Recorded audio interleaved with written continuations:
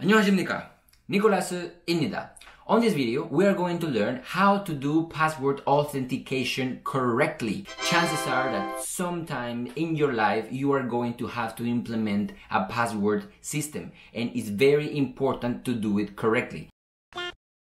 So on this video, I'm going to explain how not to do it and how to do it. Let's get started first with how not to do it. One way of doing password authentication would be to just save the password on the database. This password is right there. Anybody can read it, it's just exposed. So anybody that has access to the database, like the database admin or the staff, can just read the password. That is not a good idea. What some companies do is that they encrypt the password so nobody can read it. And when the user tries to log in with the company key, we decrypt the password, we compare them, and if they are the same, we'll proceed with the login, and when we are done, we encrypt the password again. This method is more secure than the first one, but the problem is that if you lose the key, or if somebody steals it, they can just open all the passwords from the database. And again, not good news for your users. What you can do instead is to use something called a hash function. A hash function takes an input and returns a really crazy output. There are three things that are very important about hash functions. First, hash functions return the same output with the same input. That means that if the input doesn't change, the output is not going to change even if you run this function 1 million times. Second thing is that even if the input changes a little bit, the output is going to change a lot. So even if the only difference between these inputs is a number, the output is going to change really, really much. Now, the third thing is that hash functions only work one way. That means that with a pretty input, you will get an ugly output, but if you have an ugly output, you cannot get the pretty input.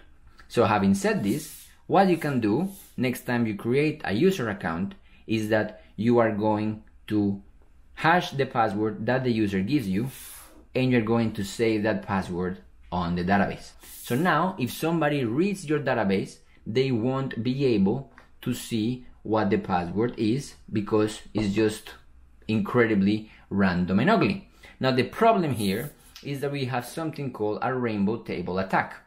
This is that, for example, if somebody copies this hash, yes, they don't know what the input is, but they can copy this hash and they can look it up on a rainbow table. Rainbow tables are just collections of hashes of easy passwords.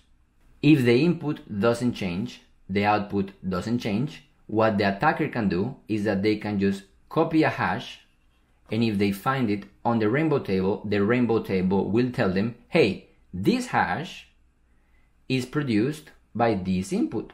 So go ahead and try that password and then this is when people get hacked. So to make it even harder for people to hack you, we introduce something called salt. So what salt is, really, really tiny random piece of text. So next time that the user is creating an account, what we are going to do is that we are going to hash their password with a little bit of salt. So that is going to produce, again, another random output. We're going to save that output. And even if the password is very easy, this hash is not going to be on the rainbow table because we hashed this input with a little bit of salt that is a really really random piece of text. This is how you protect your users against somebody looking at their password or against somebody finding the hash on a rainbow table just by using a little bit of salt.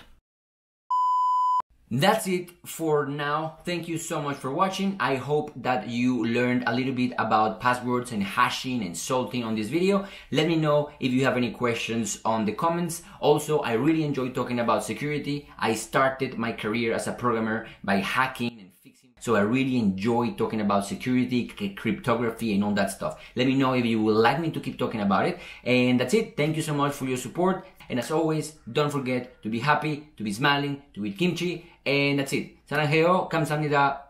Bye bye.